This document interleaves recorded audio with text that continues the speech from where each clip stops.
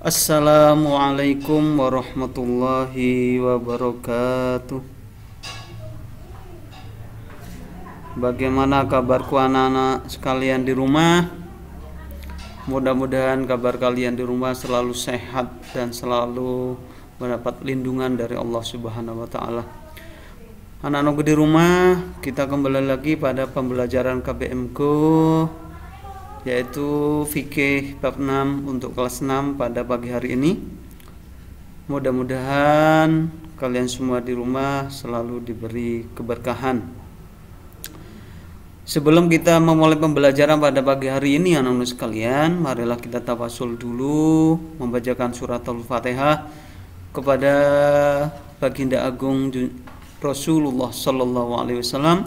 Mudah-mudahan kita selalu mendapatkan syafaatnya min hada ila yamil qiyamah amin ya rabbal alamin ila hadratina Mustafa Sayyidina Muhammadin sallallahu alaihi wasallam ila hadratina Mustafa Sayyidina Muhammad sallallahu alaihi wasallam wa ala alihi wa sahbihi wa dzurriyyatihi wa ahlil baitihi al-fatihah أعوذ بالله من الشيطان الرجيم بسم الله الرحمن الرحيم الحمد لله رب العالمين.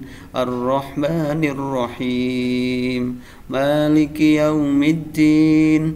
إياك نعبد وإياك نستعين. اهدنا الصراط المستقيم.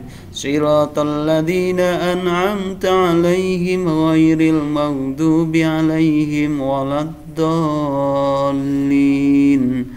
رب اغفر لي ولوالدي وللمؤمنين آمين. بسم الله الرحمن الرحيم. رضيت بالله ربا وبالإسلام دينا وبمحمد نبيا ورسولا. ربي زدني علما وارزقني فهما. آمين يا رب العالمين. Alhamdulillah anak-anak sekalian kita masuk dalam pembelajaran bab 6 ini yaitu tentang ghazab anak-anak sekalian. Nah, lingkup pembahasan bab 6 ini pengertian ghazab, hukum ghazab, tanggung jawab ghazab, hikmah dilarangnya ghazab. Nah, anak-anak sekalian, mari kita berlanjut kepada arti ghazab. Ya. Menurut arti ghazab secara bahasa adalah berasal dari kata kodaba yaktibu kotban berarti mengambil secara paksa dan zalim. Secara harfiah gosab adalah mengambil sesuatu secara paksa dengan terang-terangan dengan bermaksud menguasai hak orang lain dengan cara yang tidak benar. Jadi gosok ini kita mengambil barang orang lain tidak izin tidak memberitahukan kepada orang yang memiliki barang tersebut sehingga dikatakan ghazab ya kemudian dasar daripada dilarangnya ghazab ini yaitu terdapat pada firman Allah surat Al-Nisa ayat 4 ya يا أيها الذين آمنوا لا تأكلوا أموالكم بينكم بالباطل بالباطل إلا أن تكون التجارة أن ترضي منكم ولا تقتلوا أنفسكم إن الله كان بكم رحيما Sadaqallahul Azim Nah itu ya adalah dasarnya Kemudian Hukum ghasab dan tanggung jawabnya. Hukum gosok di sini, anak-anak sekalian adalah makruh berat. Jadi gosok itu tidak ada wajib hukumnya, tidak ada sunnah hukumnya, tidak ada mubah hukumnya.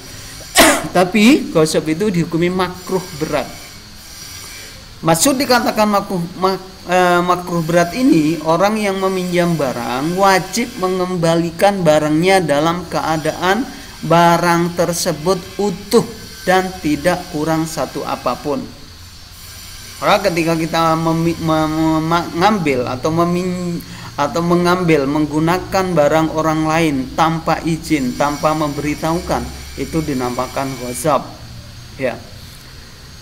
oleh karena itu gosok di sini Allah me melarang ya ulama melarang tidak boleh gosok kenapa karena bukan miliknya orang lah karena bukan milik kita sendiri tetapi milik orang lain. Tanggung jawab gosok yaitu ketika orang meminjam barang itu tanpa sepengetahuan orangnya ya dia dosa ya hukumnya. Tidak boleh dosa. Maka tanggung jawab orangnya adalah mengembalikan barangnya atau mengganti barang yang rusak atau membayar denda jika barang barangnya tidak sesuai dengan yang dikembalikan. Itu anak sekalian. Oke ya, itu gosip banyak sekali. Kemudian hikmah dilarangnya gosip. Jadi hikmahnya itu harta milik orang lain dapat terlindungi. Jadi kalau kita menggunakan barang itu tanpa izin, tanpa memberitahu, ketika gosip itu dilarang, maka ada hikmah yaitu kita bisa harta orang lain bisa terlindungi. Ya. Barangnya uh, terlindungi dan tidak sembarangan menggunakan barang. Ya. Yang kedua adalah manusia akan merasa jerah jika gosip lagi. Tidak ceroboh tidak ceroboh bermerasa di mana berada. Jadi ketika kita itu berhati-hati anak sekalian uh, sehingga kita tidak akan masuk kepada hal yang gosip itu tadi karena gosip itu tidak boleh. Allah aja melarang ya. Hal-hal yang tidak baik. Yang ketiga gosip itu terciptanya kondusif dan aman menimbulkan kesadaran pada setiap orang. Maksudnya di sini ketika barang itu nggak hilang maka timbullah yang namanya kondusif ya. Aman tidak terjadi pertengkaran gara-gara gosip ini. Nah oleh karena itu anak-anak sekalian gosip itu tidak karena yang dicontohkan di sini misalkan sandal. Contoh kalian memakai pennya temannya tanpa izin ya gosip itu namanya. Memakai laptop temannya tanpa izin gosip.